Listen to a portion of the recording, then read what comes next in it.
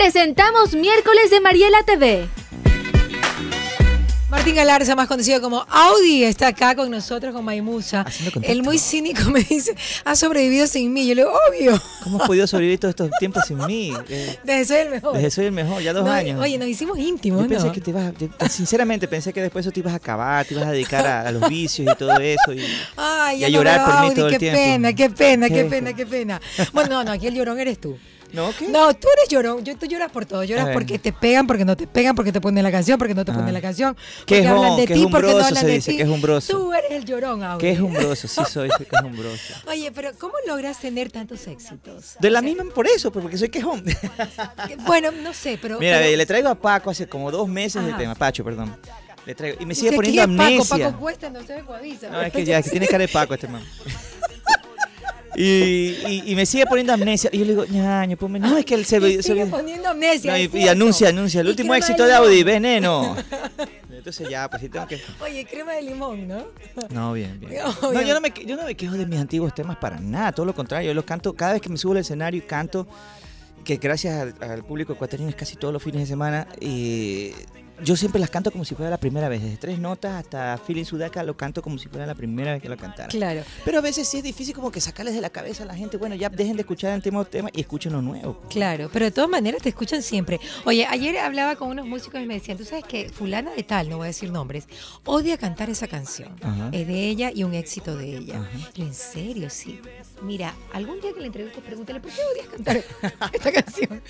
No, ¿Puede pasar que eh, un cantante tenga una canción que sea un súper éxito y que odie cantarla? Por suerte no me pasa. No te pasa a ti. ¿Sabes por qué? Porque yo... O sea, cuando cantas tres notas te sigue gustando. Por supuesto. No, no, igualito que la primera vez. ¿Sabes lo que pasa? Que yo hace tiempo. eh, en esta carrera tú tienes muchas etapas en tu vida, ¿no? O sea, mentales. Perdón, Te perdón. quemaste. No, no me quemé, absorbí, eso es mala educación. Ay. Que estoy con mi cafecito. No problema. que yo el cafecito lo tomo con Dele, sorbete. dele, dele. Absorba nada más, por favor, Mariela. Yo observo.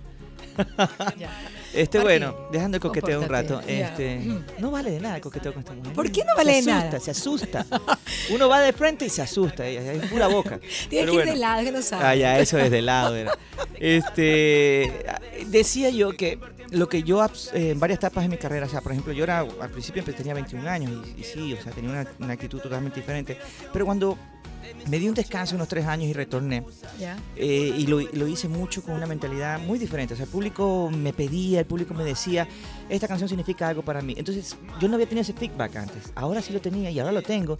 De qué, les, de qué significa tres notas o cualquier otra canción significa para esa persona en un tal, tal y X Claro. momento de la vida. Entonces, ya no la canto para mí, no la canto porque, ah, yo la siento. No, no. Me- la canto porque veo a esa persona y, y sé lo que significa para Bajo esa mi persona. análisis, eh, el poner canciones nacionales en las radios, a quien más, a uno de los que más ha favorecido es a ti. ¿Por qué?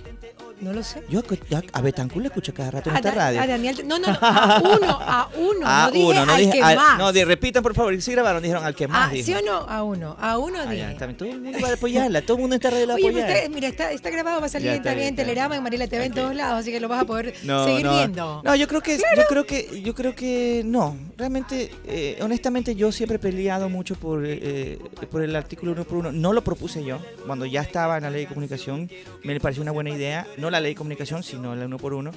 Y sí, expresé lo que pensaba, ¿no? Este, y siempre he creído, por, no por mí, sino por, porque yo siempre, te, soy honesto, yo siempre me, me he sentido una gran apertura en, la- en los medios de comunicación para mí. Sí, sí, sí, sí. Pero este. es más, te y si- perreamos. y si- que venga Audi, que venga. no, Cuando el lunes me dijo, viene Audi, ¿en serio? ¿Cómo así? ¿Ah? Se baja del Olimpo. Sí, Claro. para que veas, ¿no? Se tocaba la. Zeus. venga, claro, de vez en cuando Zeus bajaba. a- a- Yo sé, bajaba a ser de las A suyas. pegarse con unas con las mortales ahí. Este, pero, pero no, ¿sabes qué? Yo lo he hecho por mi otra parte, que yo soy también productor, soy, soy productor artístico me- y, y vine a este país, cuando vine preparado como ingeniero de sonido y productor musical, vine a producir, no a ser artista. Y, y pienso siempre en el pelado nuevo, siempre pienso en el pelado nuevo, y no solamente en el pelado nuevo, sino por ejemplo los que están creando nuevos ritmos, que tal vez no son lo tradicional, no es lo que está pegando en la radio, y esos son los que van a abrir un nuevo movimiento musical. Y se encuentran con ese filtro con que no, ¿sabes qué? Estamos sonando lo de Universal, lo de BMG, MG, lo de Sony, ya estamos comprometidos con ellos y sabes que hay un espacio así chiquitito. Para... Es como entrar a una, a una tienda y ver que todo está ocupado por Kellogg's y no hay chance para la quinoa, ¿me entiendes? Entonces, Claro. hágase un poquito y ahí pelea por eso. Claro, Pero pero, no, eso está bien. Pero es para los es, es solidario, no es tanto Claro. porque yo sienta que no me apoyan, sino El- por pero eso es concepto. Ajá. Pero yo digo a, a- a gusto. Yo, yo me voy al gusto de la gente, ¿no? Claro. Algo, yo, yo- el concepto está claro, Ujú. eso lo tenemos claro. Al gusto de la gente. ¿Por qué tú eres uno de los que más ha aprovechado o ha, digamos que se ha favorecido sin, sin que sea a propósito de esta ley? Bueno, porque antes decían ya, estamos poniendo audio, pone un solo tema y muere.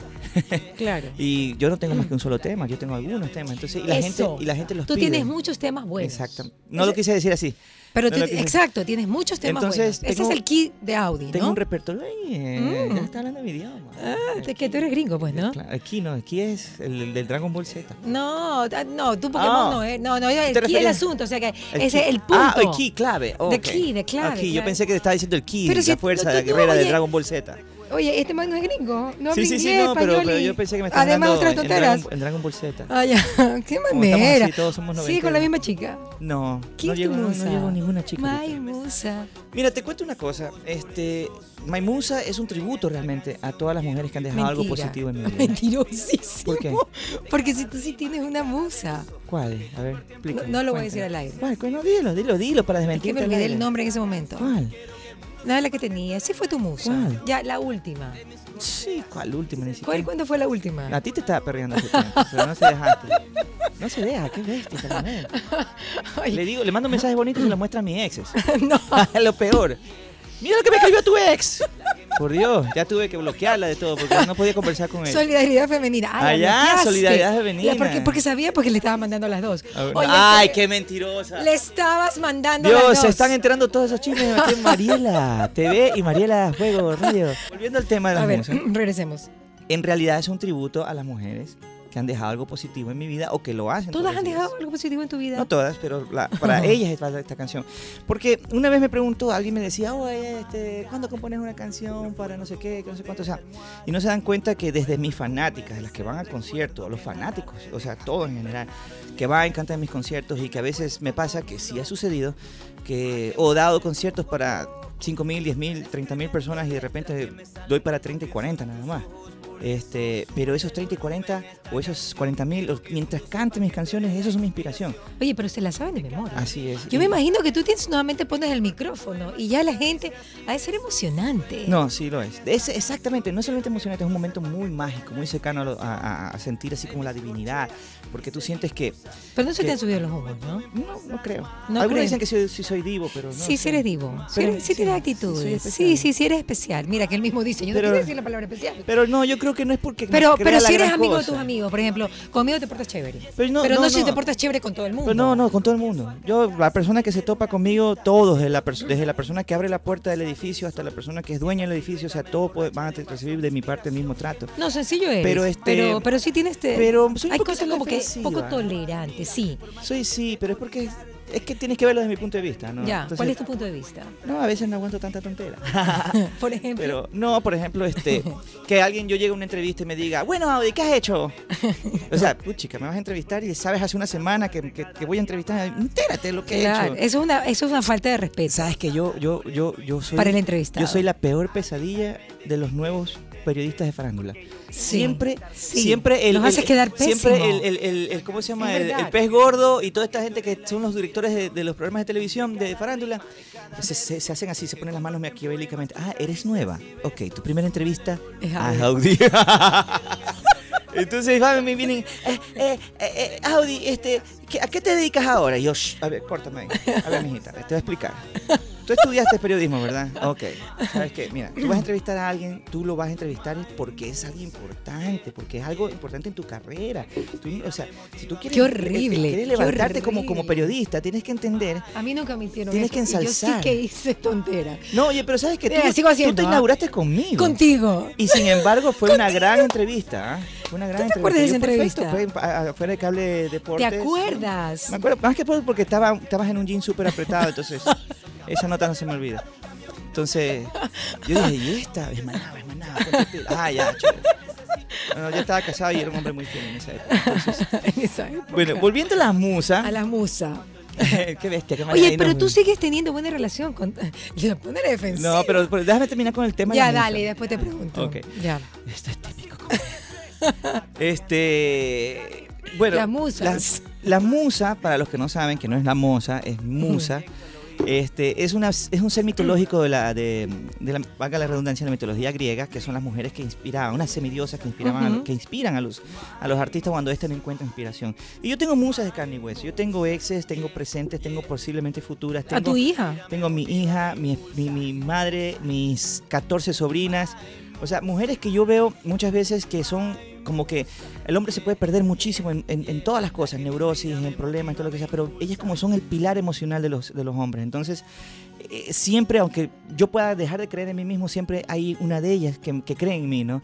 Entonces dije, quiero dedicarle, quiero dedicarle un tema a ellas. Y, me- y no se me ocurrió mejor cosa que compararlas con las musas inspiradoras, ¿no? Las que en cada canción que yo componga, de 30 y, no, 40 y tantas canciones que yo tengo, siempre hay un renglón que está en, en el que están ellas. Claro que sí. Pero de eso no habla la canción. La Sí, canción habla- párale bola, por no, favor. no, no, no. También habla de que yo lo siento como que de, de alguien de que te enamoraste también. O sea, Mira, también tiene que ver cosa. con el amor. Cuando yo se la presenté a mi hija, mi hija me dijo, mira, la canción habla incluso de una persona con la que tú amaneces eh, Claro, desnuda pues. sobre tu pecho. Pero sin embargo, yo siento que tú se la estás dedicando a todas las mujeres de tu familia. Y, y te digo inmediatamente eso.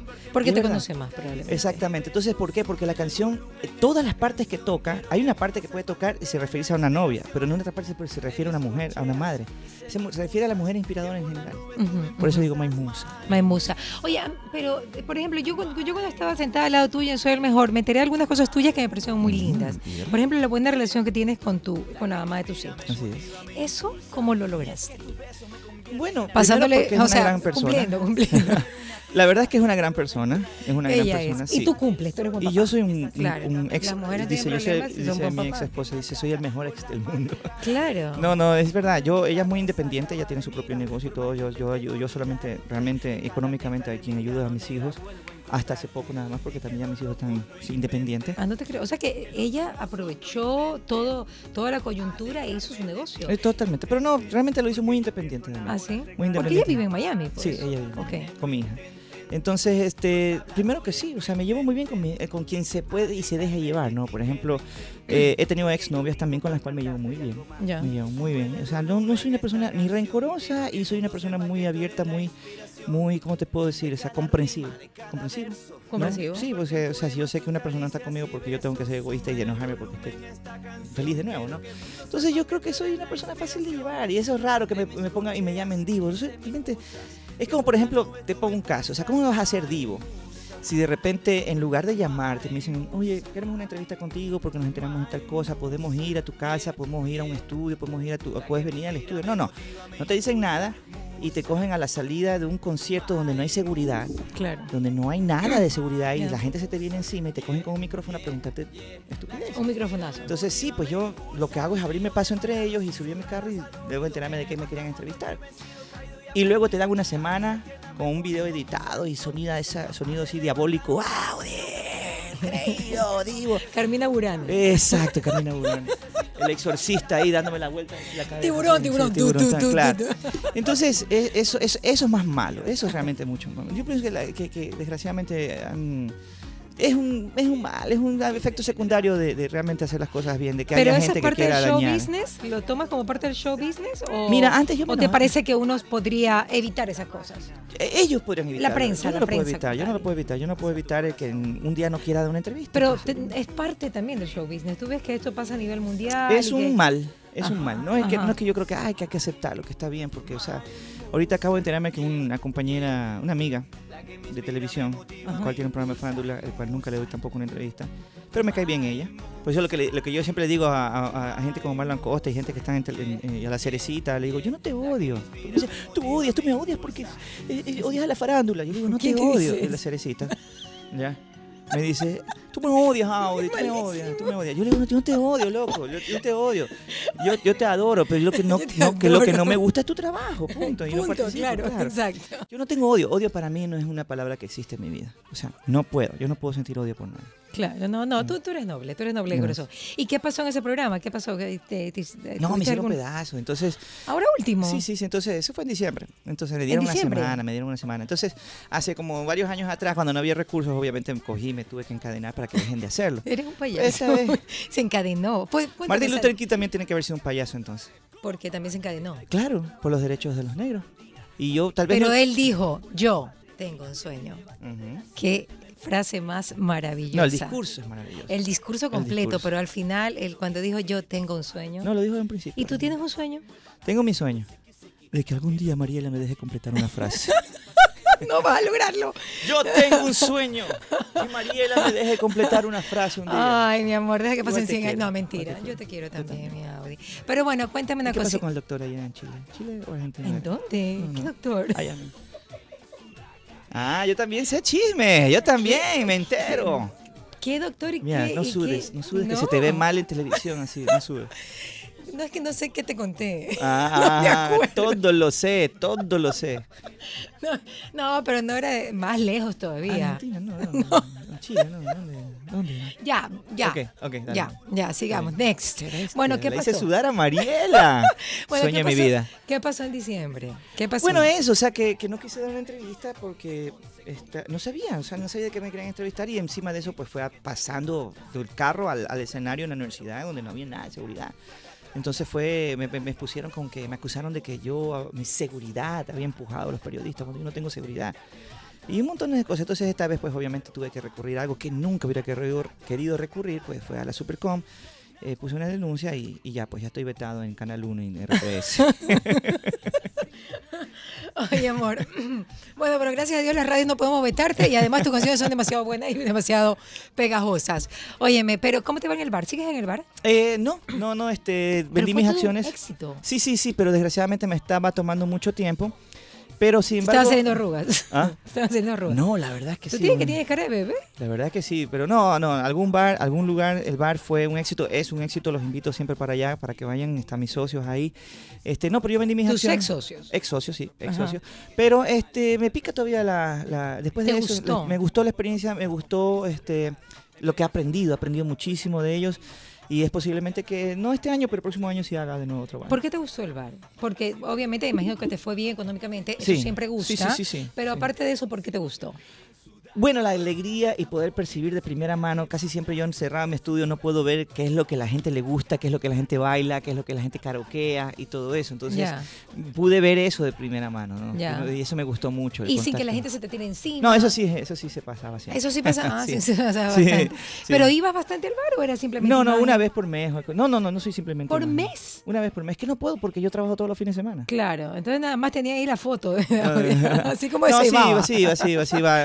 Un fin de semana que no tuviera trabajo o un entre semana. Era muy chévere, muy chévere. Fue una Ya. experiencia muy bonita. Claro, pero y todo el mundo pensaba que tú siempre estabas allí. Mira, mira cómo es el marketing, ¿no? Y que no voy porque voy a ver a Audi. Y resulta que Audi nunca estaba. Líder, ¿cómo está? Vino a grabar, no puedo creerlo. bueno, y entonces en qué estábamos? Otro bar quieres, ok. Y, Sí, muy posible el próximo año. Ya. Pero ahorita tengo otros proyectos, entonces por eso ¿Qué otros proyectos? Eh, no puedo mencionarlo porque es sorpresa, pero es un ¿Ropa? proyecto. No, es sí, dentro de la música. Shampoo, ah, dentro de la Dentro de la música. música, dentro de la música. Yo qué Sí, no, sé. es que sabes que pelo, descubrí, ver. descubrí con el bar que, que- que realmente uno tiene que apostar a lo que sabe. Claro, claro. Entonces, eh, es una de las razones, es un proyecto muy fuerte, muy bacán es un, va a ser un cambio rotundo en mi vida. No, no, no te pongas a cantar otra cosa que no sepas. Mira no, cuando, no, no, no, no, no, no, no, vayas a meter esa pata. Mira cuando, cuando Julio Iglesias se le ocurrió cantar ballena. Bueno, voy a cantar bachata. La gota fría. Oye, ¿te acuerdas? y cuando me oyó tocar, me cayó la gota. Yo sé qué le pasa a Julio Iglesias, está con hambre. No, no, no, es un proyecto. Qué horrible si es Carlito. Por, sí, pero es Carlito Vivel, el auténtico, claro. No, Obvio. no, te cuento que. ¿Qué eh, es? Eh, te ¿Te vas a cambiar no, de ritmo? Música, es música, es un, un, pro- ¿Cumbia? un proyecto ¿Salsa? No, ¿Ya? no, nada, no. ¿Vas a hacer un featuring? No, Tam- tampoco. tam- ¿Qué vas a hacer? No puedo Da- dame, dame, da- dame el- la punta del ovillo, un poquitito. Bueno, es un show. La Es, es es un disco que conlleva al mismo tiempo un show especial ya, un disco, teatral. Es un asunto que va, se va a exponer en teatros muy chévere. No, es una locura, pero no puedo Me darte, no te puedo dar mucho chance porque es con- Algo de lo que ha hecho Pamela, o sea, Pamela ha hecho Claro. como obras musicales. va por ahí, va o sea, por tipo ahí. Broadway. Está, pero no te puedo adelantar mucho porque realmente se me pueden adelantar. Ah, no, no, no, claro, no. no. Entonces, No, pero si Dios quiere, pues estamos. e- Este proyecto estoy trabajando con Sergio Zacoto, casualmente es mi, mi. Maestros. Sí, sí, estamos trabajando con Sergio. Sergito, qué Sí, bestia. estamos trabajando con Sergio, estoy muy, muy contento. La, la verdad es que siempre hemos sido panas, pero a raíz de dejarte ir, nació una parcería súper más cercana y, y mucho más colaboradora en trabajo, ¿no? Ya. Entonces, y yo te creo- llevas bien en carácter. Claro. Son total. tranquilos los dos. No somos tranquilos los dos, somos. Oh, no, no, sí son tranquilos en. O sea, Somos recontra exigentes, fregados, pero creo que estamos en la misma sí, página. Ya, yo sé, pero no son así como impositivos, como, como, como así como bravos, no son como, como invasivos. Eso No, no, Hay cantantes que son invasivos. No, no, no, somos artistas, aquí, somos ¿no? artistas. Los artistas tenemos nuestros moods, o sea, nuestras, nuestros estados de ánimo, pero y la gente que tiene que estar alrededor, estar alrededor nuestro tiene que comprender eso. Porque es más fácil ser un artista que sonríe todo el día cuando te componen las cosas, cuando te hacen las cosas. Y tú solo eres intérprete. Y yo, yo no, y claro, y son, son intérpretes, pero en, cambio, en mi caso no es así, yo también soy, soy compositor.